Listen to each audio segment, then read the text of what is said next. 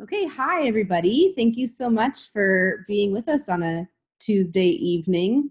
Um, we're going to get started here. I just want to make a couple of quick um, notes, announcements before we begin.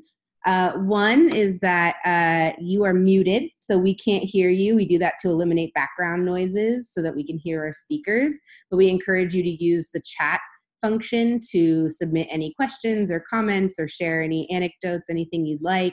Um, you should find that at the bottom of the screen, a little chat bubble. You can click on that and then uh, chat to the group.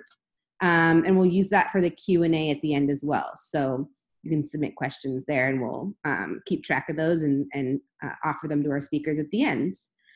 Um, my name is Sam. I'm the membership manager at Jewish Voice for Peace, and I've been working on putting this series together um, called the Spotlight Series where each month uh, we're featuring a different network of members in JVP, uh, and that includes a webinar and a newsletter.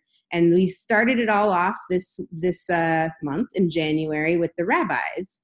And so I'm really excited. This has been a long time in the making.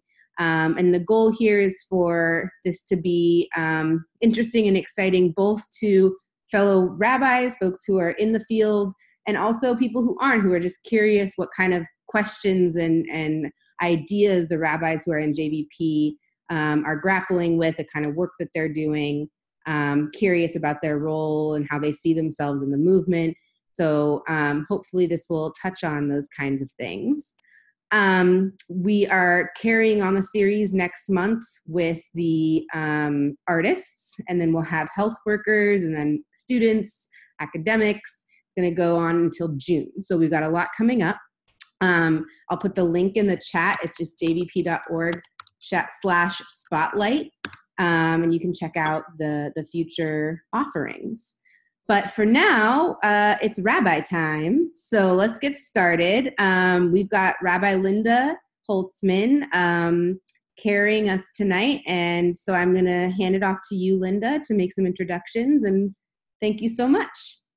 Thank you. It's a pleasure. Um, so I'm here in Philadelphia where it's not raining, um, and in my home where it's always rabbi time.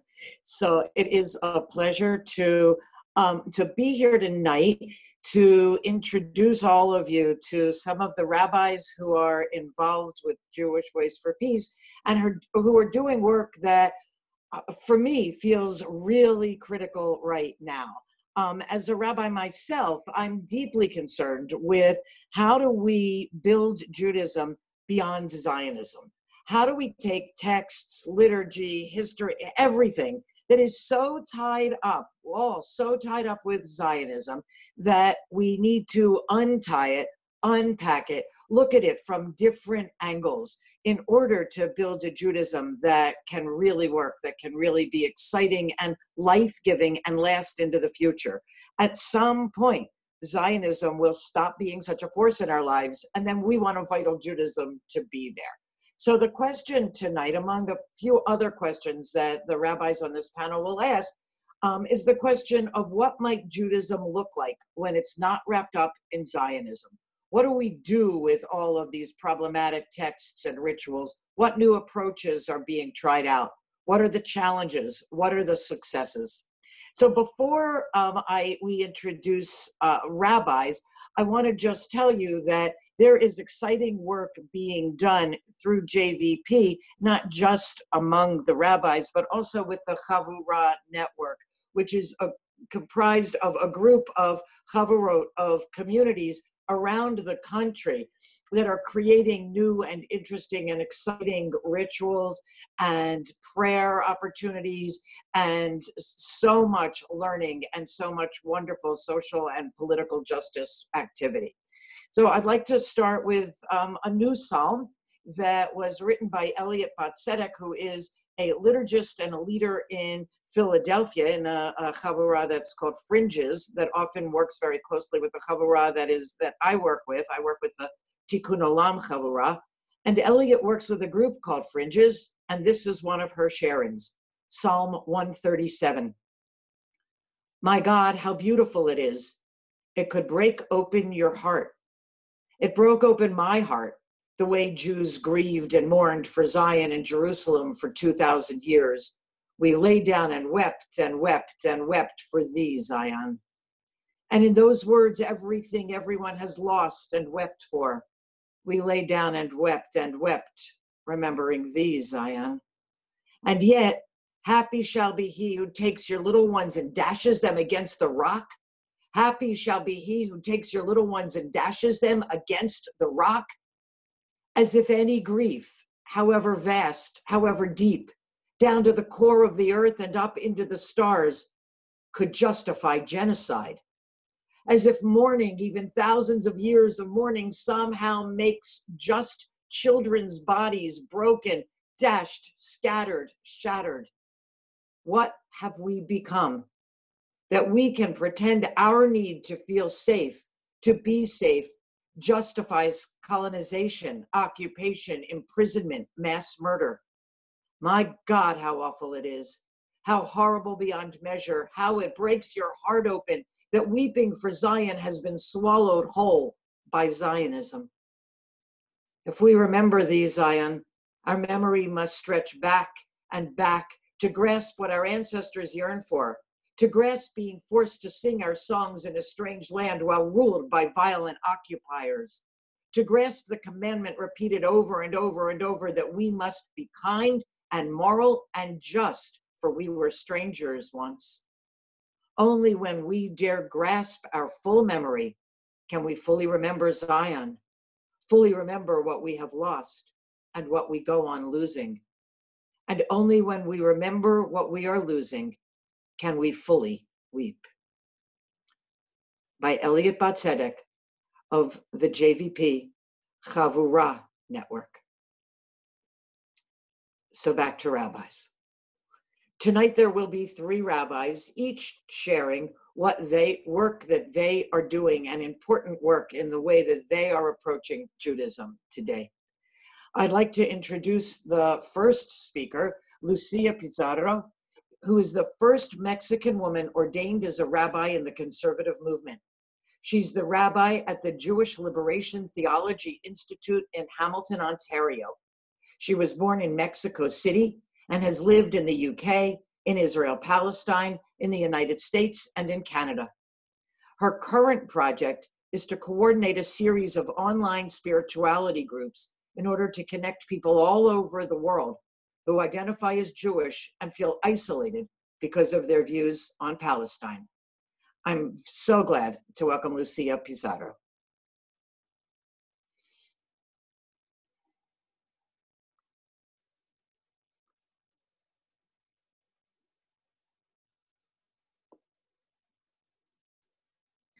Oh, Lucia, it sounds like you are muted. Let me see if I can unmute you or if you can unmute yourself. Yes. There you go. Okay. Yeah, thank you. So um, I'm going to talk a little bit about uh, my work at the Jewish Liberation Theology Institute and a little bit about the theology behind living Judaism in solidarity with Palestine. So, how do we live Judaism in solidarity with Palestine? The Jewish Liberation Theology Institute emerged from our Liberation Seders here in Canada. And these uh, Liberation Seders emerged from my own experience in Jerusalem when I worked for the Israeli Committee Against House Demolitions and I spent a lot of time in Palestinian neighborhoods. Uh, and I witnessed uh, many elements of the occupation. And one of the most painful elements of the occupation is the policy of house demolition. Uh, sometimes I was uh, part of uh, groups that resisted the house demolition, and sometimes I witnessed um, demolition of houses of families that I was very close with. And it was heartbreaking. And then I had to go back to my apartment in West Jerusalem where everyone was going about their business, completely oblivious to what was going on 10 minutes away from their houses. And it was even worse when I had to celebrate the, the holidays, uh, especially Passover, because we we're supposed to celebrate our own freedom. And how can we celebrate our own freedom when we are imprisoning an entire people? At the time, I thought the least we can do is to mention Palestine, mention that Palestinians exist and that we are oppressing them. But then just mentioning Palestine wasn't enough. When I moved to Canada, uh, we started telling the story of liberation of Palestine during the Seder. We, we have uh, had Seders in um, Palestinian cultural centers in Hamilton and in Toronto. The Palestinian community has opened their, their arms and welcomed us. Um, we, uh, we have now three Seders, one in Toronto, one in uh, London, and one in Hamilton, uh, Ontario. And our Seders commemorate the, the liberation of the struggle for liberation of Palestine. And we have uh, we give the opportunity to Palestinians to tell their own story in their own words.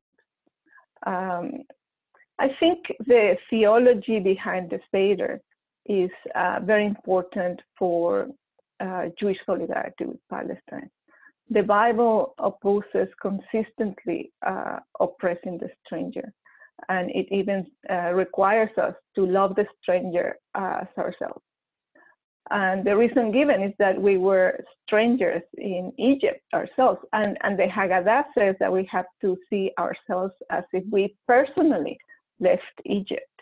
So this, this ritual has given rise to hundreds of liberation Seders and liberation Haggadot starting with Rabbi Arthur Waskow's, but there has been uh, hundreds. For example, our own Haggadah is based on the Haggadah of the International Jewish Anti-Zionist Network. So we're part of a growing movement of, of Jews who are making Palestinian solidarity a central element of our Jewish identity and our Jewish practice. But what does this mean? What does it mean that a growing number of Jews is making solidarity with Palestine a central element of our identity and our practice. I would like to talk a little bit about the theology of Mark Ellis because he's the only one that has uh, a theological framework for Jewish solidarity with Palestine. The, the first step in Mark Ellis's theology is to acknowledge that Judaism has been infected with atrocity. And Mark Ellis uh, witnessed this for the first time during the first Intifada, when Israel had uh, announced uh, the policy of beatings and breaking bones as a response to the Palestinian uprising that was mostly nonviolent. And what Mark Ellis saw was the Palestinian children lying in beds from which they would not soon leave, some paralyzed for life, others brain dead, existing on antiquated life support equipment. And the violence of the oppression against the Palestinian people has only increased over the years. So after the Gaza massacre in 2014, Mark Ellis uh, writes that we as Jews have embarked on a history of violence, occupation, and oppression, especially after the history that we have suffered, is inexcusable. That there are burning children because of our policies of and enablement is inexcusable.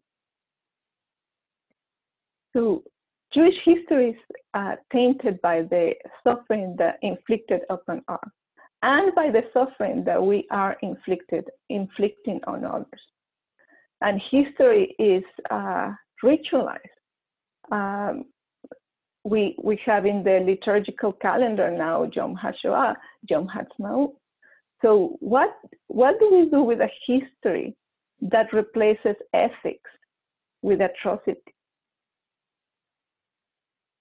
Mark Ellis has um, has been diagnosing the end of Jewish ethics uh, for years because of what the state of Israel is doing to Palestinians and because of the unequivocal support of the Jewish establishment in the West of this uh, so-called Jewish state. But Mark Ellis, uh, uh, there are a group of Jews that Mark Ellis calls the Jews of conscience. And in the eyes of Mark Ellis, they carry the ethical tradition and the prophetic. In, in a time when the majority of Jews are very comfortable under the protection of state power in, in the West, Jews of conscience are the ones that testify to the humanity of the Palestinians. And they are uh, transforming Judaism. The, the testimony of the Jews of conscience disturbs the silence of the mainstream Jewish establishment when it comes to Palestine. The, all the, the Jewish establishment, the, the policies is to remain silent. Um, this is why Jews of conscience are maligned and persecuted. Mark Ellis sees uh, Jews of conscience slowly walking into exile. This exile is not from Jerusalem, but it's from their families, from the Jewish community that uh, denies their witness and accuses them of, be, of being self-hating Jews and traitors. The Jewish ethical tradition is not dead. The Jewish prophetic is not dead. And of course, this is of no comfort to Palestinians in the, in the cantons in West Bank and in the prison that is Gaza and in the refugee camp, camps. But all in all, we, we don't know what the future will bring. Uh, even the survival of humanity is in question right now. Uh, those of us who have been blessed with awareness, we are responsible for reversing the policies that have put the existence of the planet itself in danger. And those of us Jews who are not able to remain silent in the face of atrocity, we are responsible for advancing the cause of justice in Palestine. Thank you. Thank you so much. Um, the, uh, beautiful and powerful. And um, I just want to let remind people that if you have questions that come up while you're listening to the speakers, we'll um, take be able to take some questions. Uh, for they'll be able to take some questions after all three three rabbis have spoken. So just write them in the chat, and we'll make sure that um, if as many as there are time for, we will we will um, make sure they get asked. Um, second, our next speaker is Rabbi Jessica Rosenberg. Jessica is a Reconstructionist rabbi born, raised, and based in Philadelphia and the surrounding suburbs. She became a rabbi to learn our people's diverse and nuanced histories and create spaces, ritual, and organizing that helps transform our relationship to past, present, and future. I present Rabbi Jessica Rosenberg.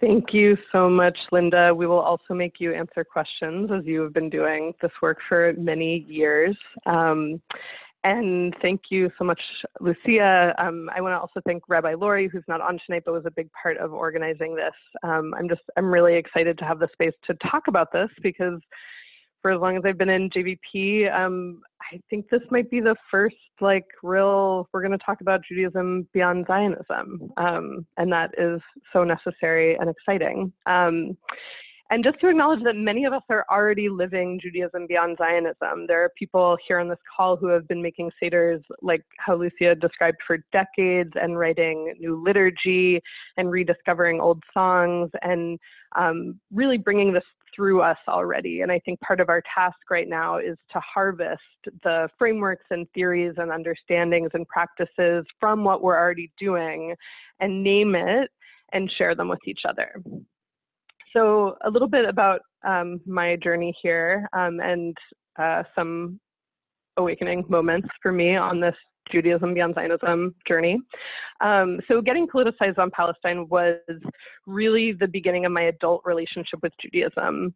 um, in my early 20s, as I got involved with Palestine Solidarity organizing, it was also when I started to pray every day, to go to synagogue multiple times a week, and to make Shabbat. Um, and this was related that as I was doing um, this like really heart and gut wrenching organizing, I needed a spiritual foundation for that work.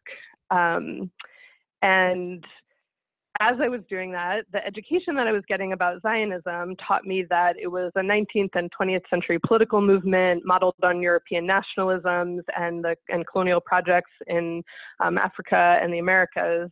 Um, and that Zionism was really just a cynical answer to the Jewish question in Europe learning about that and the occupation of Palestine and the current realities in Palestine while I was coming into daily Jewish practice made for just all of these heartbreaking moments that I know many people on this call have experienced, all of these places where it seemed like Zionism had really corrupted Judaism and Jewish practice, all of the kind of next year in Jerusalem moments all across the liturgy. And one of the hardest moments for me was in synagogue when it was time to say the Amidah, the central prayer, and everyone turns and faced east to face Jerusalem. And I have memories of very awkward moments in leftist or JVP prayer spaces where we would kind of like hold our breath and like, would we turn or not? Which direction? Um, and I also have moments of being in mainstream Jewish spaces and just kind of refusing to turn, and everybody would turn and face this way. And if I was like, happened to be face not I would just not move and I would just like stand and face the room full of people and feel like really okay I'm not turning to face Jerusalem. And this was like a stand I was taking a literal stand I was taking. Um, then my first year in rabbinical school we were studying the foundations of Jewish prayer and I read um, and actually I made a source sheet for us if we want to go later and study Talmud Bavli Brachot 30a part of the um, Gemara that says one who is standing in prayer in the diaspora should focus one's heart toward Eretz Israel, as it is stated, and they shall pray to you by way of their land. So the Talmud was redacted in the sixth century or so, long before modern political Zionism, and they're talking about being in diaspora and facing Eretz Israel. And I remember having this moment of panic, and then it feeling very obvious um, and having, I've since then, I've had a lot of more of these uncomfortable moments of real talk about the way Jews throughout time have had a relationship with the land they called Eretz Israel and a relationship to Judaism long before modern Zionism.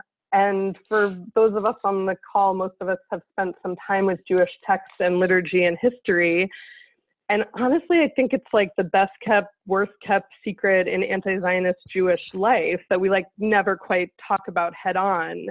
That there is a relationship in our text, pre modern Zionism, relationship to the land. Um, and so, one of the things I really would love part of this call to be um, having an honest conversation about um, about that. And why I think that's important. I think that erasing or ignoring Jewish relationship to the land dilutes our relationship to Judaism. It like leaves out a lot of Jewish text and history and tradition.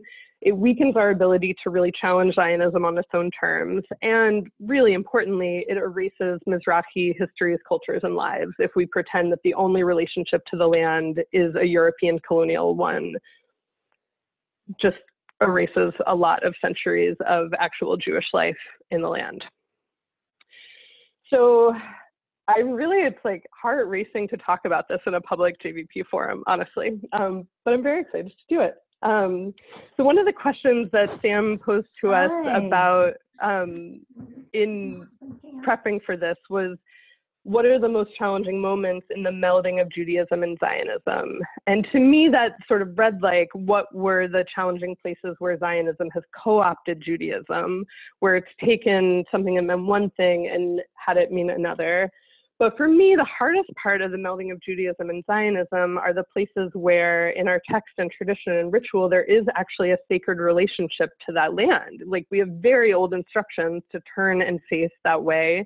We have prayers for the rebuilding of the temple from long before Herzl. We have all of these holidays that are based on the weather and the seasons and the planting and harvest cycle there. The rituals about death and burial, also really based on the weather there. Um, and that is the part that I actually feel like the most um, what to do with, like the most needing of comradeship in this community to think and talk about what to do with that.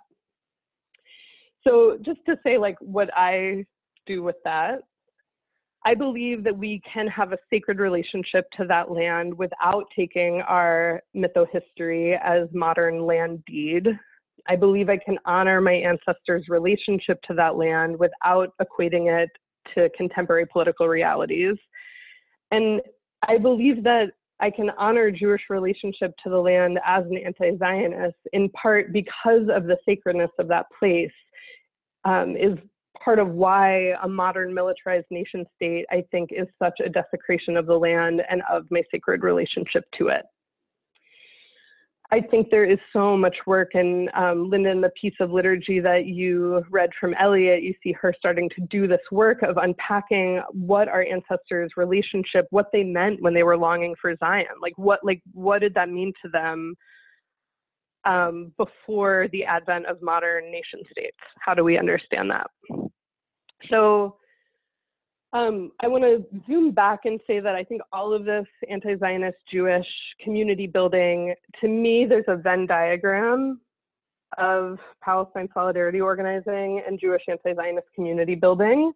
I think that anti Zionist Judaism can be one tool in Palestine solidarity organizing, but it is not the same to me.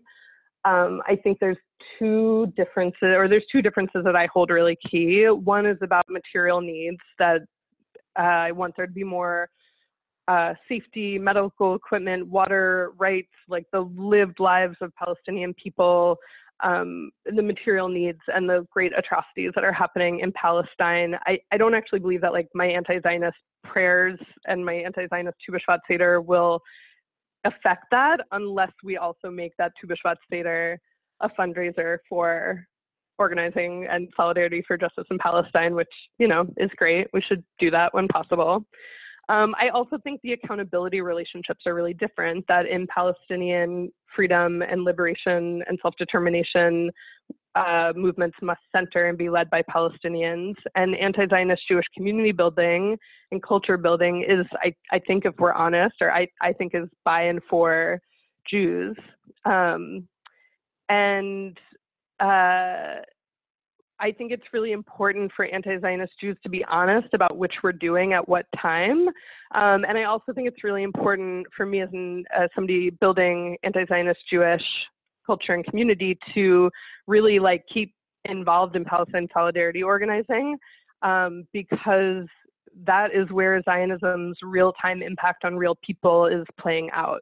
Um, I want to address, I think, like one discussion I've had in a lot of um, leftist spaces, building Judaism beyond Zionism, is about not wanting to recenter Zionism in Israel by making all of our Jewish life fully focused on um, anti-Zionism in Israel. So on one hand, I actually really resonate with that idea that like we are in diaspora and want to be where we are and struggling with the political realities in our place and not always be turning to faith east. On the other hand, I think there's no standing still on a moving train, and Judaism is currently being weaponized in a militarized occupation. And as long as it's happening, that impacts our Judaism, and we need to be confronting it. And on the other other hand, I do really believe that like um, part of anti-Zionist Jewish life needs to be also uh, understanding ourselves as settlers in the place where we are and taking responsibility, making reparations, and supporting Indigenous sovereignty struggles in all the places where we are. So we are have plenty of work to do. Um, can I take one or two more minutes? One more minute? No, I can stop. I'll stop. I can stop there. Um, I have obviously I could go on about this for a long time, but um, I want to respect our other speakers' times and read all of your chats. Um, and uh, yeah, thank you so much. Thank you. I'm sorry to have to cut you off. Everybody, I mean, all of you. Like we have this amazing panel of people who could talk and be fascinating for a really long time. Um, so th- thank you for um, bringing a lot and really good, just such powerful, personal, important material. and then uh, recognizing that we need to move on. So the third person on our panel is Rabbi Brant Rosen. Uh, Brant is a Reconstructionist rabbi. He is the founder of a non Zionist congregation, Tzedek Chicago, and the co founder of the Jewish Voice for Peace Rabbinical Council. Most recently, he was the Midwestern Regional Director of the American Friends Service Committee. He is the author of the book Wrestling in the Daylight A Rabbi's Path to Palestinian Solidarity. I bring you Rabbi Brant Rosen. Thank you, Linda. Um, and boy, uh, thank you, Jessica and Lucia. Um, I'm my my mind is uh, is just spinning after hearing from both of you, um, and there's so much I I want to say now that I hadn't prepared, but I'm gonna go. I'm gonna do my best to go back uh, to my original my original comments, and hopefully we'll be able to unpack all of uh, what we're laying before you during the conversation. Um, so uh, by way of introduction, um, I also want to, to mention that before I uh, started working in my current congregation uh, and before I was at the American Friends Service Committee, I served a, a largish Reconstructionist congregation in Evanston, Illinois for about 16 years. And um, during that time, my own relationship to, to Israel uh, really evolved. Um, Zionism, labor Zionism, progressive Zionism was always a very much a core of my Jewish identity for my entire life. But um, it during uh, the last 10 years or so of my tenure at uh, my congregation, JRC, I really uh, broke with Zionism in a pretty public way uh, and moved from what I would say is, is being a progressive Zionist to being a Palestine solidarity activist um, and getting more increasingly involved in Jewish Voice for Peace. And what was fascinating, none of this was strategic. it just kind of happened. Nobody planned for it to happen. And but one of the things I found was, uh, to my delight, was that my congregation really um, worked, wanted to work with me to figure out how to how I could continue to be the rabbi. And I always had the the support of my board, even though many of the things I was saying and doing and writing were very painful for them. Um, and um, uh, uh hang, hang on one sec. I'm just going to tell someone to uh, keep it down a little bit.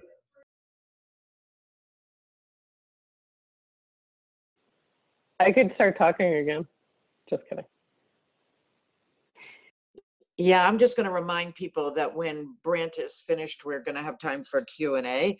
Um, uh, or we can just give the three of you the opportunity to go back and um, share what you haven't managed to share so far. But there are lots of great comments already coming up in the chat. So keep adding them. I'm happy to go right to the chat if people would like to. No, no, no, no, no. I said after you were finished, I was talking. Um, so one of the things I found was that it was really impossible for me to continue to be the rabbi of a congregation that had um, members who ranged from Zionist to non-Zionist to anti-Zionist. I think the preponderance of them were Zionists, but to have a rabbi who was such a public, publicly identified figure as an anti-Zionist became untenable.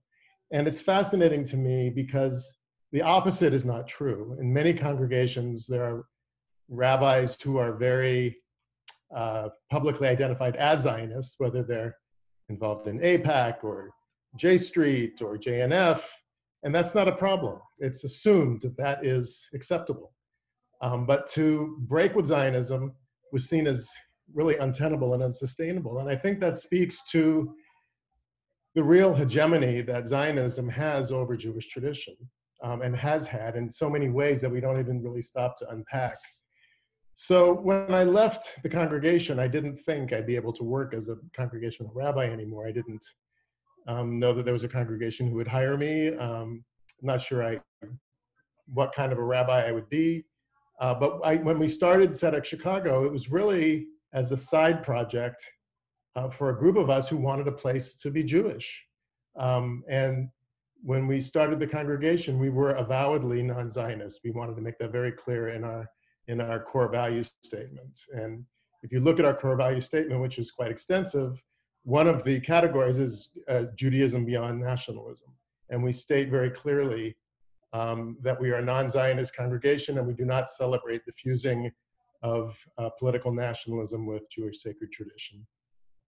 And what that meant specifically, I at that time I could not have been able to tell you. We were really building something out of whole cloth that um, we had no real um, strategy for, other than we knew what our values were. We knew what the broad foundation of the community would be, but what the specifics were, um, was not quite clear to us at the beginning. You know, when people would ask us, well, what is a non-Zionist Shabbat service like? Um, and you know, that's not, it's not on the outset an easy question to answer, um, but I have some thoughts. Now that I've been doing this for five years and I've just recently gone to full time in the congregation, I do have some answers to that. Uh, and the the first answer I want to I want to um, go back to something Lucia said when she talked about Mark Ellis's work, which I think is enormously important. And Mark Ellis, in his he's a very prolific author, but one of his books, probably his best known book, is called the uh, Jewish theolo- a theology of Jewish liberation, toward a theology of Jewish liberation. And he uh, devotes a significant part of that book to unpacking the so-called Holocaust theologians. These were the- theologians, uh, people like Emil Fackenheim and Richard Rubenstein, um, to uh, Irving Greenberg, uh, to some extent Elie Wiesel, who really grappled with where is God after the Holocaust. And um, a a central theme in their work was this notion that the establishment of the state of Israel in the wake of the Holocaust was a redemptive moment in Jewish history. And they were giving voice to something very, very real in, Jew, in Jewish life. And that, that, that notion, that redemptive aspect of, of, of Jewish history is completely interwoven throughout Jewish tradition and, and certainly throughout uh, Jewish tefillah, Jewish prayer, um, in ways that we don't often stop to unpack. I mean, in some ways, it's very obvious. There are Israeli flags on the bima in, in many, many synagogues throughout the United States. Uh, usually it's an Israeli flag on one side, an American flag on the other. Uh, we could do a whole session on the concept of bowing down to flags, not only facing east, as Jessica was talking about, but actually bowing down to the flags right next to the Aron Kodesh. Um, there are other obvious ways that most, most congregations include the prayer for the state of Israel. Um, they include holidays like Yom Ha'atzmaut, uh, Israeli Independence Day, Yom HaShoah, uh, Yom HaZikaron, Israel Memorial Day, as part of their sacred calendar. Uh, and those holidays were established very, very purposefully by the, by the Israeli, the early Israeli government um, for as a way of acting out that redemptive theology that, that the Holocaust theologians were, were lifting up. Um, that, that we have Yom HaShoah, then we have Yom HaZikaron, and then we have Yom Ha'atzmaut. It is that playing out, that liturgical playing out of, of Israel, the redemption of the birth of Israel uh, as sacred holiday. And it's not only civil holiday in Israel, it is really, in most synagogues around the country still um, is a part of the regular worship calendar. There are also lots of little ways. You know, one way that um, I, I, noticed without even real, I, I've been praying this prayer for so long and I never really noticed uh, what was going on. There's a, a prayer in the evening, uh, evening prayer, Ahavat Olam, uh, which comes as part of the, the block of prayers that's built around the Shema. And it ends with um, uh, the Havienu l'shalom fota aretz, to that it's the concept of ingathering of the exiles from the four corners of the world. And the worshiper is supposed to gather the four seat together um, while they are praying these prayers uh, in a, as we lead into the Shema. And in many congregations, um, including one I davened in fairly regularly, the, uh, the Kibbutz Galuyot section of that prayer is sung to the to the melody of Hatikva. Uh, and it came so naturally to me that I never really stopped to realize that that was a very conscious effort to superimpose this Holocaust theology, this redemptive Israel narrative, uh, in a very real way into Jewish prayer, into tefillah. So, you know, as I started to, as I, we started to contemplate what tefillah would be like um, uh, in a non-Zionist setting, I think the first step is to really um, face honestly and unpack seriously the ways that hegemony has become so deeply ingrained in ways that are obvious and ways that are not so obvious. Um, and I will say that one of the things I've noticed over the last five years, we've done lots of creative liturgy. We've, um, uh, I've become a, um, a liturgist in my middle age in ways that I never expected I would. I think most of the writing I do these days is, is writing of prayers and poetry um, for use in our services. But even more than that, one of the things I found um, in building this congregation is that the most important answer to the question, what is a non-Zionist Shabbat service like, is it's just the people that are there. Um, what we say is very important, and on grappling with the issues that I've been talking about is is uh, is enormously important and part of this work. But it's really about creating a context for people who um, don't feel comfortable or welcome in other synagogue settings because of that Zionist hegemony. That um, for some people, it was, for some people in our congregation, they are coming to services for the very first time because it was just impossible for them to, uh, uh, to relate to Jewish prayer. And for others, like myself, uh, who have evolved on this issue um, and are really struggling with um, the way these prayers are contextualized, just having a place where there are others around us that we, we can be a community for each other and struggling over these issues together is an enormously important thing.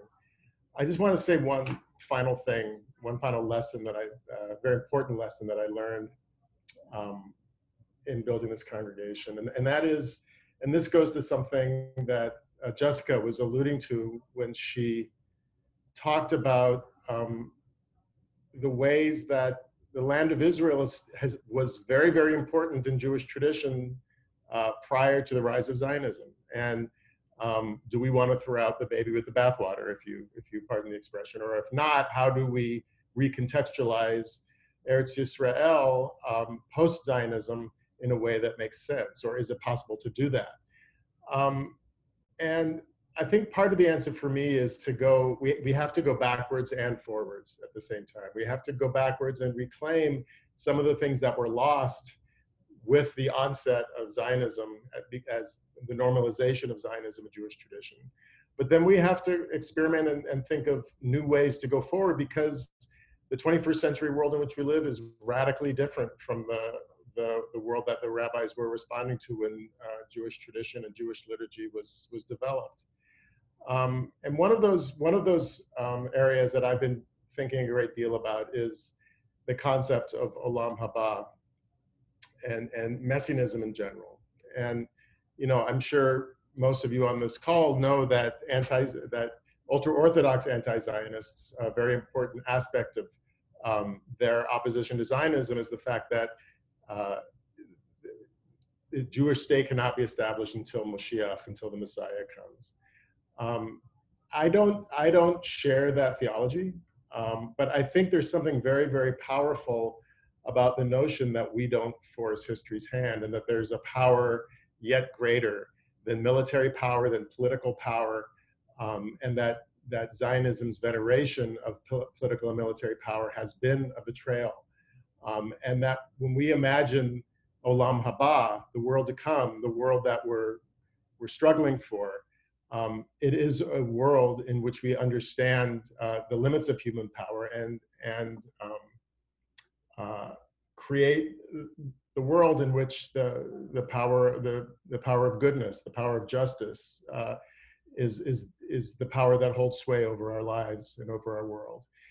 And I think in at Tzedek we we realize that because so many of us and members of our congregation are, are, organizers and activists and involved in various movements for justice, um, they're very familiar with the notion of, of struggling for the, for the world that we want to see, um, what I would call olam haba. and that when we get together on Shabbat, that's a time to cease the struggle. That's a time to the milacha, the work of the week, if you will, um, and to give ourselves a taste of that world that we're struggling for.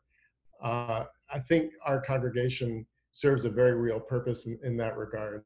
Um, and, and I think this new kind of understanding of Judaism is emerging kind of organically out of the work that we're doing, that we look at Shabbat as a time to replenish and renew ourselves for the struggle of the week ahead. Uh, and um, understanding that Olam Haba is um, a, a, central thread of Jewish tradition that is, is so important um, and in many ways flies in the face of what, uh, what the, the, the Israel as redemptive narrative uh, has been putting before us, I think is, is part of the answer for us as well. So I'll so, stop there. Yeah, um, and yeah. Uh, I look forward to the conversation. So thank you, thank you, thank you all. Um, and so many, so many good questions have come up. I want to just ask Samantha to pose one of them. Thank you. Well, I have, there's a couple of general questions, but there was just one really specific to what you were saying, Brant, that uh, about saying a bit more about Olam Haba. Do you mean? Oh, oh.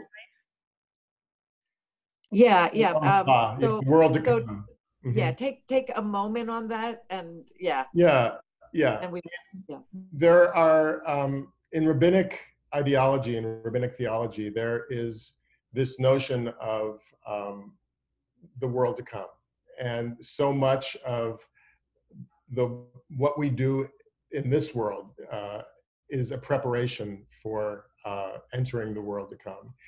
It's a little bit different, but related to the notion of the messianic uh, era. Uh, you know, it is a uh, it is a uh, a vision of uh, of a future, a better future, a more a more perfect future beyond the the pain and the struggle and the reality of the world in which we live.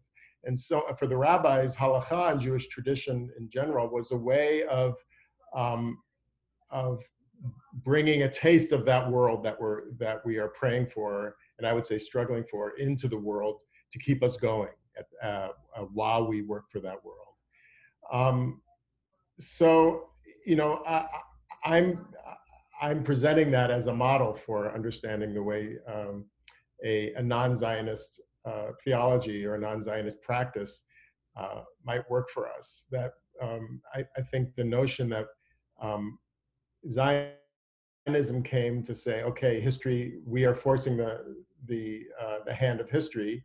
Redemption is now. Um, we're saying, no, we're not there yet. Um, and Jewish tradition is a means uh, of, of a roadmap for us to, to create that world. So that opens up um, questions that someone asked about um, just practically, what does it mean to, um, what kinds of actual things are you doing? Um, and I'd like to open this to Lucia and to Jessica and to, and to you, Brant, um, for all three of you to talk about the practical ways that you think we can really, right now, today, work on building a, um, a, a Judaism beyond Zionism. Um, so how about if we just move back to Lucia or Jessica, whichever one of you would want to talk about what you see happening and what you'd like to see happening and what you're making happen. Um, and then move move to Brant also. Mm-hmm.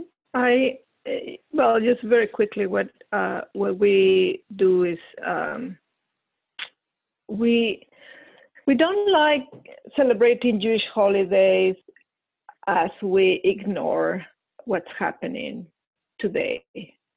So we um, we always um, our Jewish holidays are aware are, are being aware are are basically celebrated in in solidarity with Palestine. So we we really have to um, think really hard how to do that. Uh, we do the the Hanukkah uh, parties to raise funds to bring light to Gaza, for example. Um, we do, um, uh, and in the the for example, the Seder's, I I always uh, figure which Palestinian uh, commemoration is closest to the day It's usually either Prisoner's Day or Land Day, so that the theme of the Seder is either Prisoner's Day or Land Day. Uh, so that's that's a, a, practical thing that we do for for the community here. Um, yeah, great question. I want to um, pick up, I think, what Brant said about like looking to the past and the future while building the future. Um, and also, someone, I won't be able to find it in the chat, but someone in the chat pointed out like Reconstructionist Judaism, Reform Judaism.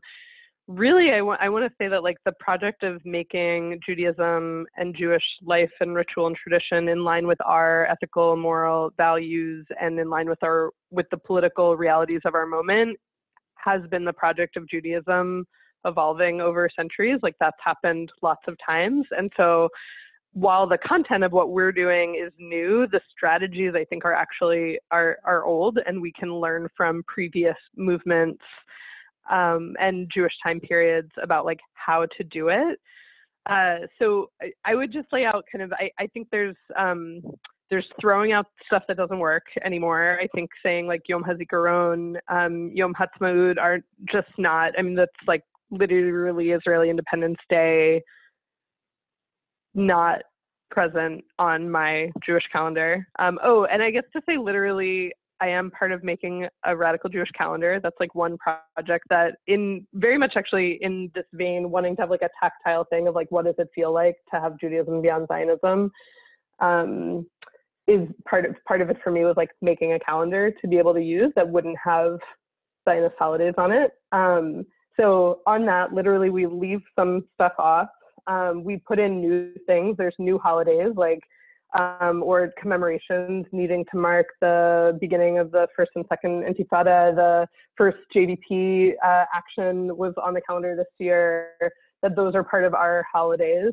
Um, I think there's also the strategy of like changing the meaning of like reconstructing of like you know saying we're marking Purim this year and also we are going to reinterpret have a Purim celebration that um, wrestles with the topics rather and makes it relevant tells the story in a way that's relevant to our time um, and then I think there's stuff that like we are just going to wrestle with and hope that then you know people who come after us figure out even more what to do. Um, so I think, but that's like we get to live our Jewish lives and try things on. And also just to say like what you do one year, like it can be dynamic and changing. And I think there's some practices that we don't really know how it feel until we try it and do it and feel like how does the you know can we um, say this prayer and have it mean a different thing uh, you don't always know until you try it like how the words literally like feel in in your mouth so i think like experimenting immersing yourself in jewish life I mean, obviously I'm a rabbi. I'm trying to get everybody to immerse themselves in Jewish life, but you know,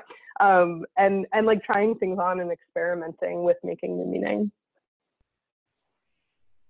Yeah, the only thing I would add, um, you know, going back to the uh, the troika of Yom HaShoah, Yom HaTzmaut, Yom HaZikaron, or Yom HaZikaron, Yom HaTzmaut, yeah, just um, translate those for one second. So, well, I'll, I'll, just go back to Yom HaShoah, which is generally the Holocaust Memorial Day that was established by Israel, but that was done in the context of Israel rising out of the, the, the tragedy of uh, the redemptive rise of Israel out of the tragedy of the Holocaust. One way um, that we can move forward into creating this new uh, Judaism is to think of alternate ways to to separate ourselves from from that narrative. And I just want to put in a plug that International Holocaust Day is next week, January 27th, and there are congregations in Jewish communities that are um, choosing to commemorate the Shoah on that day uh, rather than in April. So that's one one piece. I, I think what Lucia was saying about um, taking Palestine solidarity as a sacred act is is really what we are finding in my congregation uh, as uh, what this new Judaism look, will look like. So there are so many different ways. Rather than celebrate Yom Ha'atzmaut as uh, a joyous day of, of independence, it's a day of reckoning about the Nakba. Uh, it's not the same as Nakba Day for Palestinians. That's a very specific day for the Palestinian community. But if we take our role in uh, uh, the Nakba seriously as as Jews, uh, what what what what might that look like? And uh, for us, that's meant reading testimonies of Palestinian families um, and, and hearing their family stories on that day, for instance. Um, before Passover, we had Omar Barghouti speak to our congregation um, about BDS and liberation. He spoke to us the day before. He was very important. Omar Barghouti is one of the founders of the BDS movement. Uh, he's been wanting to speak at a synagogue for a very long time, and it was a real honor to be able to give him that opportunity and to do that in the context of moving into Passover and having a conversation with him about the meaning of Passover in the context of BDS was a very powerful thing. So those are just a few examples of, um, I could go on and on, um, talking about uh, Palestinian Gazans who were killed at the Great March of Return during the martyrology section of Yom, Yom Kippur. These are all ways that we are taking our Palestine solidarity seriously as Jews, as, as uh, part of our sacred, lifting up our sacred tradition. Yeah, it's really interesting because when you look at almost any of the Jewish holidays that we have set ways of of commemorating, and you think with a lens of uh, supporting the Palestinian community, honoring the Palestinian community, owning where what the Jewish community and the is, is Israeli community have been to the Palestinian community, um, you transform every single ritual for every single holiday so easily. It's extraordinary. Um, so I love the examples that you were given. They feel so important. Um, so it is it is 8:56, which means we have a very few minutes. So I just want to give the three of you an opportunity um, to say some final words. And the first person who wrote on chat talked talked a little bit about the challenges of you of prophetic stance and being um, out there um, with a, a, strong prophetic voice and softening and having dialogue um, w- both within the jewish community and beyond and the challenges of both of doing that blend and i'm curious for all the three of you as rabbis um, where those challenges lie um, and then also if you have any final words that you would like to to say and in any order that you would like to speak. I'll go first again. Okay. I the the issue that I have with the soft, softer approach that uh, Robert was uh, mentioning is that it's it's a little bit what Brant was talking about, which is an inability to to stomach silence uh, of the of the Jewish establishment. So I personally cannot physically do it. I I could throw up, although I did do six years of rabbinical school, but um, it, it was very hard. Uh, so that's that's the problem. How how for me personally, how do I live with myself and keep silent? uh, especially precisely going back to the Holocaust. The history has taught us that being silent means that you're a, a complicit in the crime. So we're supposed to learn that from history. And, and what do we do? Well, we are silent because it's a controversial topic. And maybe, you know, we're going to make people uncomfortable. Uh, so that's, that's my issue with the uh, but I'm sure that uh, there is a job for everyone uh, in this world, and and I'm sure that some people should do that, uh, but not not me. I'm so grateful that not you. Thank you, um, Jessica or Brant. Jessica, do you want to go? I'm... Sure. Um, yeah, I think I feel very full. Um, I I think that just the thing I would say in closing is that Judaism is Jewish life is so old and rich and varied and diverse. And um, there are parts of when we like dig into the tradition there will be even more parts that upset us and there will be uh, thrilling homecomings for our hearts. Um, I, I I love Judaism is older than capitalism and white supremacy. Um, it's not older than patriarchy and militarism and xenophobia. Um, but I do think that like there are places of tradition that uh, can really feed us while we do also heartbreaking uh, work. So I feel honored. I just feel really honored to be in it with all of you for all of our lifetimes and then some. Thank you. Thank you. Thank you. And Brant. Just say very briefly, thank you, Jessica Lucia. Um, you know, we're, we're, I think to be a Jew has always been, you're defined by the local community where you hang your hat. You know, we have a concept of Am Yisrael, you know, and Amcha, the, the Jewish people writ large which is this mythic notion. But the reality is that we are a, a wide and varied people. Um, and uh, I think that's the case with this new Jewish community that we're trying to build. It's a new way of being Jewish, but that's always been the case in, in the Jewish world. Um, the one difference I would say right now is that we are living in a political moment where um, there is a, a, Jewish establishment that is uh, making common cause with a greater political establishment to demonize and criminalize Jews who stand in solidarity with Palestinians. Literally, uh, we are finding that um, promoting BDS is increasingly uh, a criminal act. Um, I don't think it's an exaggeration to say that there may be political forces that seek to define it as a form of domestic terrorism. Um, so for those of us for whom BDS is a sacred act of responding uh, to the voice of the oppressed, um, it's not just a question that we're we're creating our own Judaism in our corner of the world, but we are um, up against forces that are um, seeking to demonize us and criminalize us in very unprecedented ways. And I think um, rather than constantly being played on, put on the defensive uh, and fighting off these accusations, which is exhausting, which is important but exhausting, I think one of the best ways we can respond is to create this Judaism in a loud and proud way. Um, and to not just be defensive and say, no, we're not anti Semitic. No, we're not self hating. No, anti Zionism is not anti Semitism. I'm not going to write another article about that. rather, I would rather create a joyous new form of Judaism that embodies all of the values that we've been talking about. And I think that's the best possible rejoinder uh, to the division that we're seeing in, in the Jewish world and in the world in general today. Thank you so much. Thank you to all three of you, to Lucia and to Jessica and to Brant. You were all extraordinary and it's so wonderful to learn from the three of you. This should be at least a day long seminar.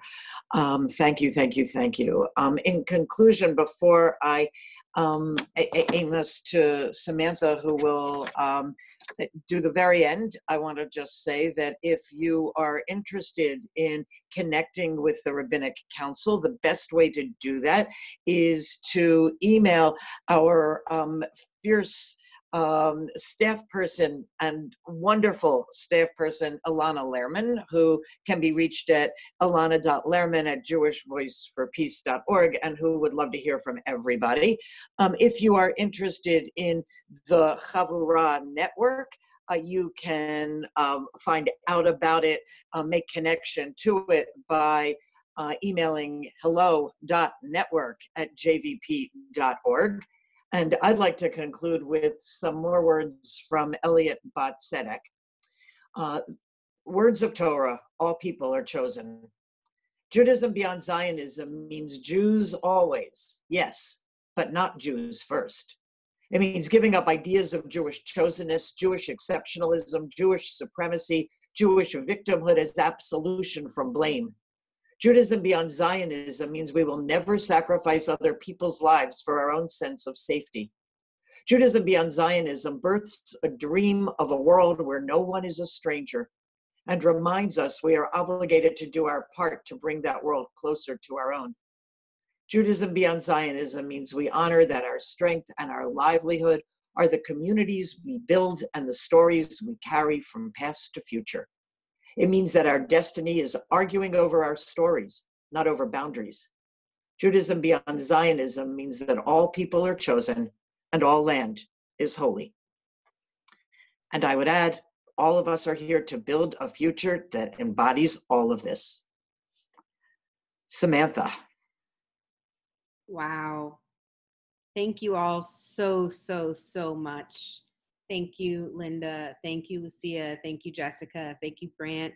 Thank you to Lori, who who couldn't be here with us tonight, but who, like Jessica said, did so much to put this together. Um, and again, I, I, hope you'll join us for the rest of the series, jvp.org slash spotlight. Um, and I think this is just illuminated for me just how uh, hungry we are for these conversations and, and uh, we need to do more of this. So um, you bet your bottom dollar there will be more of this.